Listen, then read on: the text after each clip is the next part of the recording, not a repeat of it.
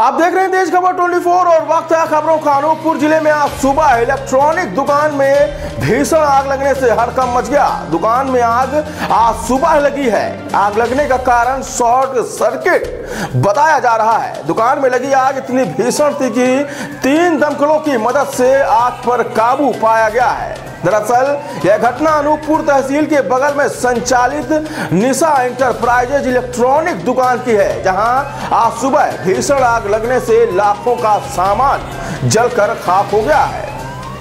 बताया जा रहा है कि यह आग शॉर्ट सर्किट की वजह से लगी है। मौके पर तीन दमकल वाहनों की मदद से आग पर काबू पाया गया है। बावजूद इसके, लाखों का सामान जलकर खाक हो गया।